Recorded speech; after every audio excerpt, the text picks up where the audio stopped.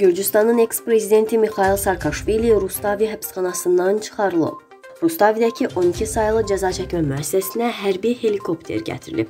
Mixail Saakashvilinin xəstəxanaya yerləşdiriləcəyi gözlənilir. Hərbi helikopter həbsxana ərazisinə eniş edib. Hazırda həbsxanada qarşısında Saakashvilinin ailəsi ilə həbsxana işçiləri arasında sözlü qarşıdurma yaranıb.